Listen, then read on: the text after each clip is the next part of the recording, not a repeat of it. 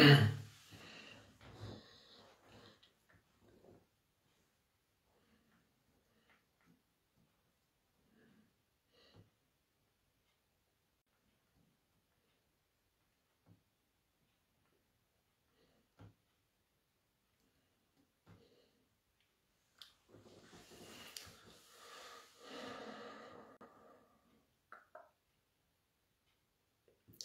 bună seara, nu văd niciun comentariu, nimic.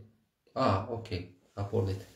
Deci bună seara, haideți să începem evaluarea săptămânii, astăzi 31 octombrie, dată care cam este cu o zi uh, după aniversarea de 2 ani de când au fost ale, alegerile uh, locale, deci în 2020 în uh,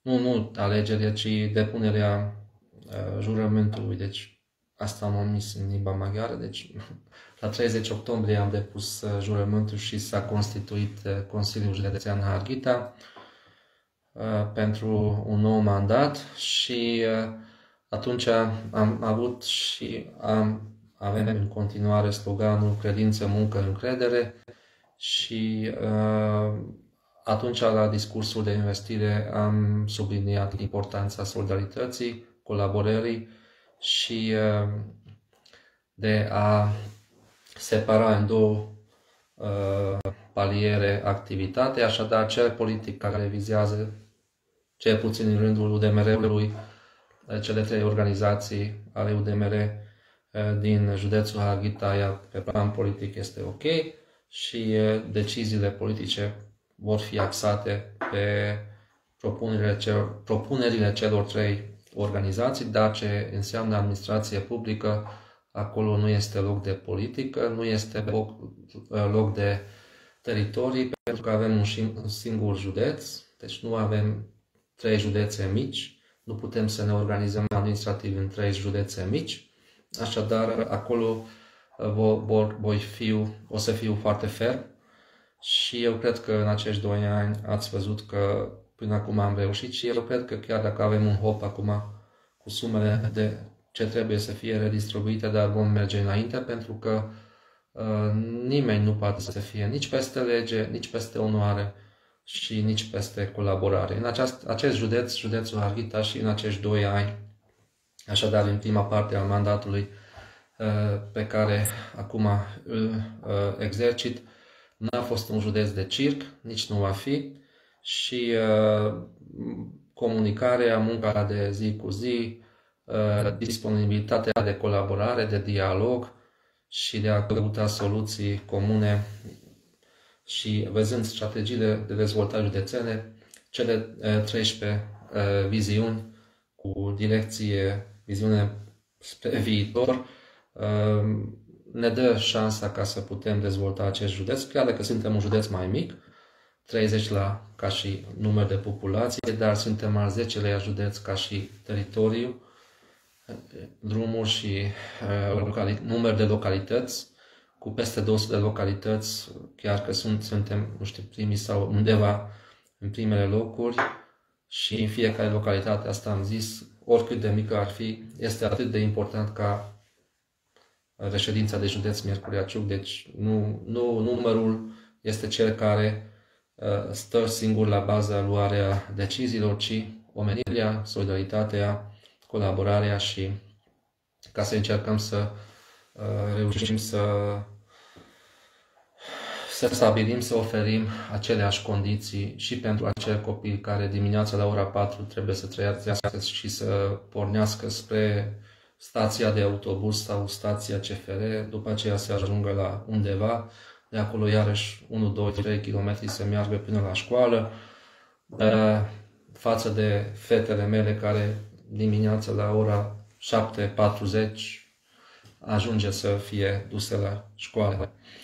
Deci eu cred că aici trebuie să conluctăm. Vă, vă înșir din nou cele 13 puncte dacă vă mai amintiți. Dacă cine amintește este ok, cine nu încerc să reamintesc. Deci, primul a fost conectăm regiuni, construim un județ în care toți locuitorii se simt în siguranță, construim un județ sănătos, construim un județ verde, revigorăm economia județului, viziuni pentru tineret, pentru tineri, construim un județ atractiv, construim un județ family friendly, împreună alături de vârstnicii noștri, construim un județ inovativ, construim comun, uh, comunități, dezvoltăm comunități uh, și cele trei B, uh, care înseamnă București, Budapesta și uh, Bruxelles, cele trei capitale de unde atragem fonduri și susținere. Eu cred că în perioada pandemiei am reușit să facem, cel puțin pe palierul digitalizare și uh, sănătate, salt imens. Deci, acum eu cred că suntem în acele județe care deja știe care e direcția spre digitalizare și debirocratizare și am încercat împreună noi toți. Deci nu numai CJ-ul, ci și instituțiile, partenerii noștri și chiar foarte mulți cetățeni să folosim uh, cât mai eficient posibilitatea digitală de a debirocratiza și a nu mai pierde timp. Uh, deci cost, să reducem costurile administrative. Și eu cred că asta este digitalizarea și debirocratizarea. Deci aici am reușit să facem pași mari. Aici vom merge mai departe și uh, în privința inovației încercăm să vedem toate acele soluții care complementar poate să se aibă un efect sinergic. Încât uh, ideea noastră este printr-un telefon totul să poate să fie accesat uh, și orice dată, orice cerere, orice, orice, orice, orice, numai o singură dată să trebuie să fie scris în uh, telefon sau în laptop sau calculator, tabletă. Și uh, să încercăm să punem la dispoziția cetățenilor, nu numai celor din județul Arghita și celor care ne vizitează, foarte multe oportunități, oferte și uh, să încercăm să ținem aici, nu numai pe copiii noștri sau pe semenii noștri, dar și pe cei care vin aici și să stea mai multe zile. Și totodată pentru spital s-a văzut. Deci saltul acela de un milion de euro ce am reușit să colectăm uh, și pentru care am cerut sprijin a fost un lucru foarte, foarte mare și ne-a dat posibilitatea să credem că se poate. Deci solidaritatea în județul Harghita este foarte mare. S-a văzut și la 7 ianuarie Uh, sau 6 sau 7 ianuarie când a fost incendiu aici la Șumuleu cu romii, cât de mare a fost solidaritatea și că oamenii cred. Deci nu este adevărat că nu au încredere în nimeni, nu fac nimic, nu participă nicăieri. Nu, nu, nu. Sunt pasivi, nu. Deci dacă au o voce, văd uh, un îndemn și acela este credibil, putem să facem foarte multe lucruri foarte Uh, cu foarte multe rezultate. Ok. Și chiar am zis la începutul mandatului, am avut, uh, am primit foarte multe uh, critici negative din interiorul UDMR-ului, că am zis că cei care sunt de școală veche politică sau aparțin școlii vechi politice, eu cred că vor dispărea de pe scena politică pentru că trebuie să schimbăm modul de comunicare, trebuie să schimbăm, trebuie să folosim toate acele posibilități pe care avem la îndemână ca să ajungem cât mai aproape de cetățean și uh, puțin să ne ia cetățeanul în uh, mai aproape. Nu știu dacă am reușit să exprim, dar uh, eu asta văd. Asta văd că politica și se vede schimbările pe mapa mond, se vede schimbări peste tot în Uniunea Europeană, că toți cei care sunt de școală veche politică pierd alegerile, nu sunt reales uh, și uh, mai bine sunt uh, mandatați oameni care uh, au viziuni, dar totodată țin contactul strâns cu cetățeni și împreună. Deci așa trebuie mers înainte. Deci nu așa că politicianul de vârf uh, alfa, ca la lupi, stai sus, băi, voi cetățenii, haideți după mine, nu mergeți altul în TVA, că vă dau o palmă. Deci nu, nu mergem. Deci aia, școala politică veche, s-a terminat. Deci aici Zuckerberg și alții au rezolvat această problemă. Ok. Am, am uh, cuvinte de laude pentru salvamontiști, pentru că aproape că totul s-a dublat, voluntari, echipe, refugii, deci am făcut foarte mult împreună și ca să avem un județ mai sigur. Deci nu numai la sănătate și la spital, dar și în aici. Și în privința uh, pompierilor voluntari, deci toți cei care au avut grijă și au grijă de viața noastră, împreună cu cei uh, profesioniști de la ISU și ne mergem de această colaborare foarte benefică că până când mașina de, sava, uh, de pompier de la Miercrăciuc ajunge la Cozmeni sau la Tușna, e un timp. Și dacă până atunci sunt acolo cei localnici, uh, no, deci se poate face multe lucruri. În privința spitalului, cum am zis, anul viitor va fi una de, de crâncene, deci vom avea foarte multe proiecte paralele în desfășurare, deci va fi îngreunată activitatea spitalului, dar ne, ne mândrim că peste 2-3 ani acest spital uh, va oferi o gamă întreagă de activitate pe care, pentru care servicii speciale care, pentru care acum trebuia să fie merse în alte județe sau orașe și așa mergem mai departe. Ok. Pe, pe antreprenoriat uh, am avut uh, multe programe, am susținut uh, centre de incubatori, am susținut asociațiile întreprinzătorilor. Deci, dacă ne uităm la construcția drumurilor județene, iarăși am reușit să avem un uh, rezultat bun. Deci acum avem multe drumuri, uh, multe proiecte în uh, derulare. Pe domeniul învățământului iarăși ne mândim cu mai multe proiecte și mai multe colaborări. Și pe domeniul tineretului ați văzut ce încercări s-au făcut, nu numai de internship, deci avem 101 pro, proiecte, programe oferite tinerilor, deci de la tineri fermieri până la uh, oameni de artă uh, dintre tineri.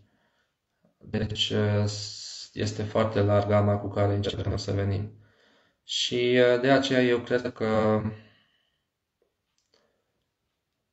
în acești doi ani am făcut, uh, am reușit să atragem fonduri enorme, deci în acești doi ani am reușit să atragem de mai multe ori fonduri decât uh, în perioada anterioară. Atunci am avut o greșeală, uh, coordonarea n-a fost eficientă și n-a fost bine uh, ținut în mână în domeniul proiectelor europene sau al programului județean de management al deșeurilor, dar acum am făcut o schimbare și atât la proiecte de investiții, cât și la fonduri europene și la acest program mare să avem performanță. Am primit 13 milioane lei uh, acum județul Harghita din fondul de rezervă al guvernului. Toate localitățile au primit bani.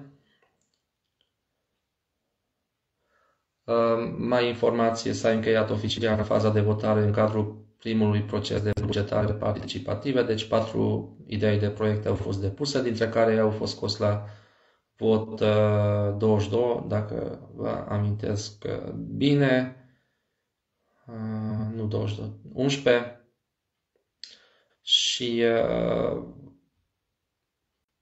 primul a ieșit amenajarea interioară substației de ambulanță Bălan, 2. Reabilitarea și dezvoltarea parcului dendrologic civică, 3. Extinderea locuințelor maxim protejate pentru persoane adulte cu dizabilități și 4. Împreună pentru un zâmbet, achiziționare unei auto-utilitare dotată cu cabinet dentar mobil. Ok, deci cam așa a fost uh, acest uh, program. În rest, uh, ce pot să vă spun? Că mine vom avea o ședință de Consiliu văd aici și colegii mei consilieri județeni, ar trebui mâine să mai discutăm, că eu aștept. Care e decizia? Aveți cons- deci este un consens între grupuri politice sau nu?